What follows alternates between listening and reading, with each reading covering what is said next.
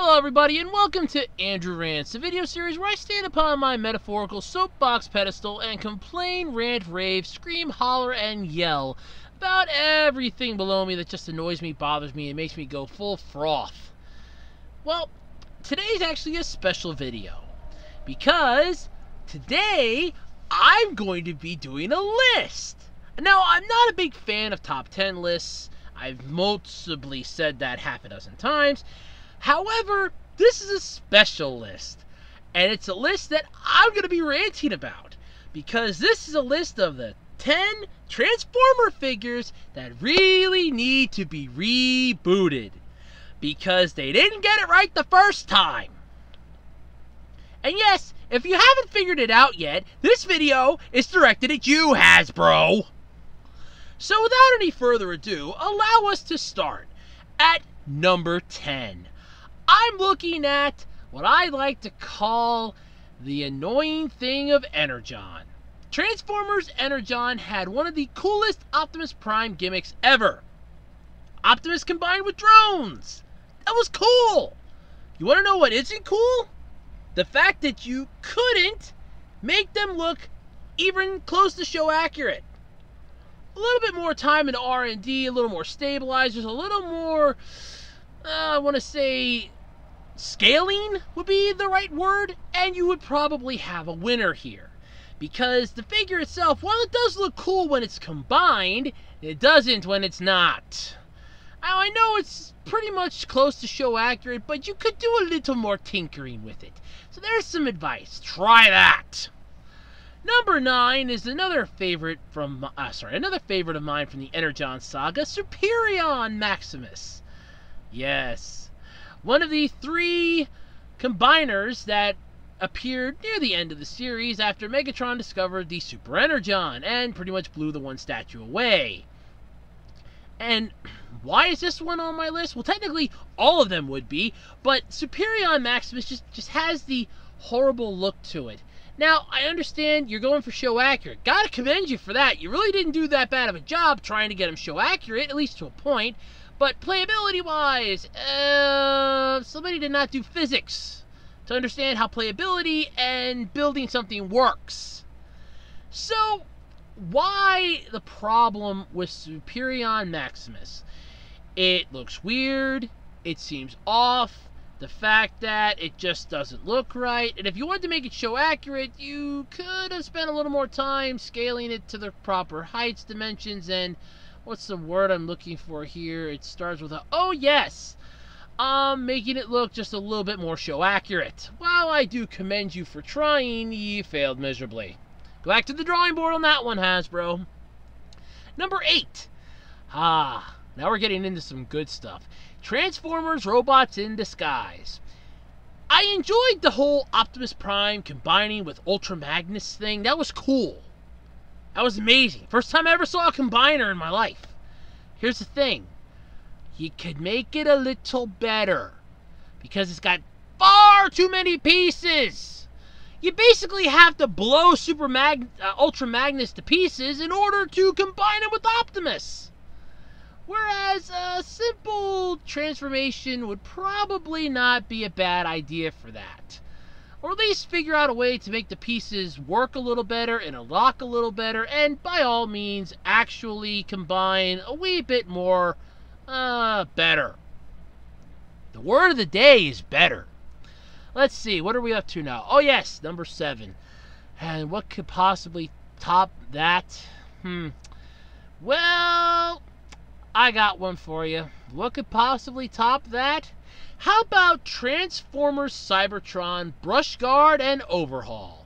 Because I reviewed Brush Guard and I have a major complaint. Now, while I will admit this thing is practically show accurate, the arms and the shoulder flaps, you could have done a little more development on that just to give them that little bit of extraness. How about a swivel joint where the arm, where the shield flaps come up? where the shoulder flaps come up. How about a little bit, you know, how about like a turning joint there? And then make it so that the arm actually has some decent articulation. It doesn't look like it's permanently crocked into a certain dimensional turn. It looks stupid, but still, is show accurate, but could do with a little bit of rebooting. Add it to the Generations line. Might help. Number six. Wow. We're at number six already, huh? So what could possibly boil my piss at number six? Beast machines. Beast machines, beast machines. You didn't make any of them show accurate! Cheetor! It's almost. My god, that thing is taller than a freaking Power Rangers Megazord from Bandai! Freaking fragile as all hell. You can't move it. Has no articulation. I got one for my birthday the one year. It lasted like maybe six months to almost a year, and then it just broke because pieces started wearing out on it. And Optimus Prime, that thing wasn't even anywhere near show accurate, except for your gigantic, hulking, massive ape one with rapid punch attack. How about one that actually looks like Optimus from the show and actually looks like Optimus from the show. You actually had a decent one with that original one, but it didn't look like Optimus. Make it look like Optimus, damn it! Isn't that bad of an idea? But seriously, the entire Beast Machines toy line was garbage. None of them looked accurate to the show that you were trying to sell the kids on. Hey, check out Beast Machines. Here are the toys for it. They don't look anything like that. Well, that's not our problem. The entire Beast Machines line. Pick and choose some of the good ones. The Maximals and, oh, what was it? Oh, yeah, the Vehicons. The vehicle uh, combiner, the vehicle transformations, Megatron's group. Pick some from there and some from the Maximals and fix it. It's not that difficult of a concept. There's more of the Generations line for you. Make amends for what you screwed up. At the halfway point. the halfway point.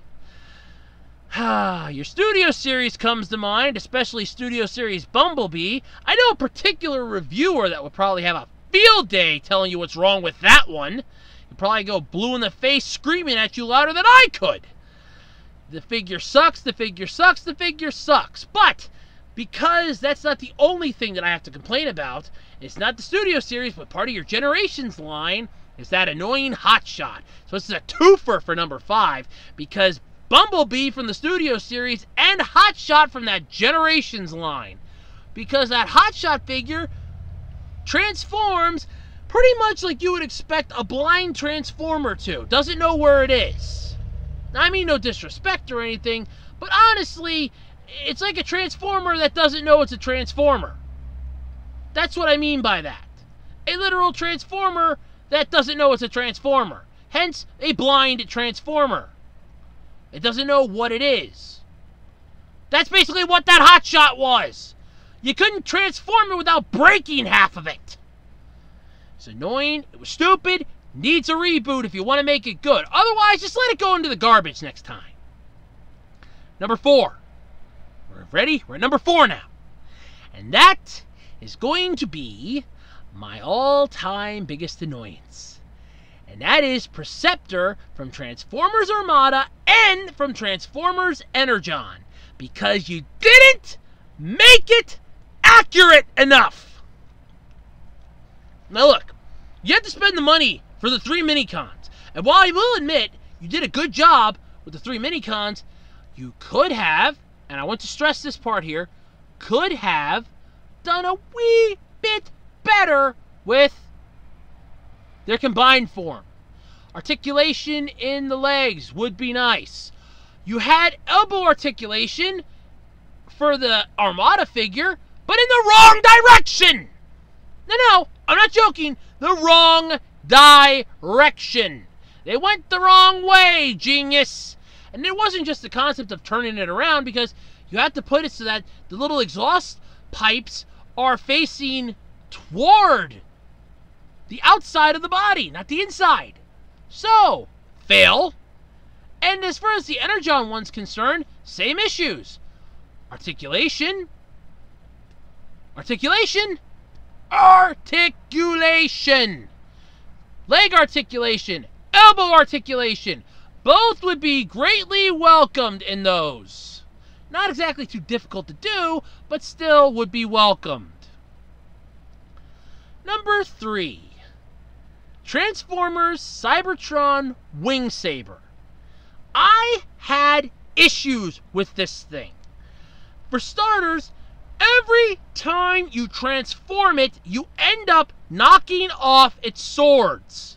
No matter how you put them on there, you will knock them off. You will knock out the hilts for said swords from the tail of the plane mode when you transform it. The figure could have used a little bit more of R&D, even some tinkering on your end to make it better. But that's nothing compared to the next two, because the top two are the two that you really need to improve upon. Number two is actually tough, because out of the two that I have left, and believe me, they're perfect examples, I kind of like this one for number one, but it's number two for a reason. And that is the Transformers Armada Optimus Prime. The figure can cause fires.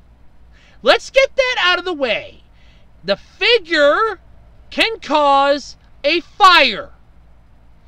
What moron at Hasbro thought it was a brilliant idea to put an RF chip and an RF thing in a toy for kids? Did you not realize that's how remote controls work on televisions with an RF signal? Did you not figure that out? If you have it, which is marketed for kids, mind you, kids are going to be playing with this. What do kids usually sit around with their toys? A television. At least back when this came out. Did you ever think, just maybe, maybe, it was a bad idea? It changes the base into the legs. I will get back to that in a moment. But it can also cause a fire if you're changing the channel and it senses a signal. And the legs. The trailer changes into the set of legs. The gigantic hulking pyramid that you sit Optimus's torso on. It's a brick! Who the fuck wants to play with a brick, Hasbro? That thing costs like 40 bucks! I don't see parents pissing out $40 for a figure that's a brick! A brick, Hasbro! But a simple change in the figure. How about making the trailer smaller? Giving it articulation in the knees, like it had someone in the show! Making it so that it actually looks more show accurate! and making it so that people don't have to worry about having a fire extinguisher near it when they have their kid watching television. Somebody in R&D should have been fired for that one. But that's a pale comparison to number one. And yes, I know what you're thinking. How is fire a pale comparison? What is the next one cause a black hole? No. No. The next one is a figure that can't even stay together past one transformation. You're rolling the dice as to whether or not it's going to survive, changing it from its beast to dino mode. Or sorry, from its beast to robot mode. And if you haven't figured out which one I'm talking about yet, I'm talking about Transmetal Megatron. I complained about this before, and apparently you didn't hear me loud enough. Apparently you didn't hear me, so I guess it wasn't loud enough. Fix the figure, Hasbro! You have a chance. You have a generations line. How about instead of spending money on stupid ideas like the Cyberverse figures that you're half-assing, you fix some of the older ones. The collectors will buy them in droves. Especially Transmetal Megatron. The one that was shown for the longest time in the Beast Wars series. Because the problem with this one the figure can break extremely easily. I know. How does this beat fire, right? Because you just spent $16. That's what this thing was going for back in the day. $16. I remember because I tried saving up for him and Optimus. Happily, I couldn't get either. I say happily because I ended up getting an Optimus at a yard sale. Sadly, he joined the Matrix. But Megatron, I could never get my hands on no matter how hard I tried. And they're commanding high prices on eBay now because none of them are surviving anymore. The figure breaks, Hasbro. It snaps apart before you can even play with it. Changing it from Dino to robot, you run the risk of snapping the center part, snapping the arms, breaking the plastic, because somehow you decided to cheap out on the labor for it. What did you use? Chintzy plastic? The thing's a transformer for kids. It's meant to be played with. You're running the risk of it breaking just changing it. At $16, and that was back in 1990 money. That's a lot of money now, Hasbro. I am offended by the fact that this toy even got past quality control. You had no right to do that. This one, above all else, deserves a second chance in the sun. Show accurate. Make the head the right size. Make the body the right size. Make it so it doesn't break apart just by turning the figure from its dinosaur into its robot mode. Those are things that you need to improve. And that's my top 10 Transformers that really deserve another shot in the sun.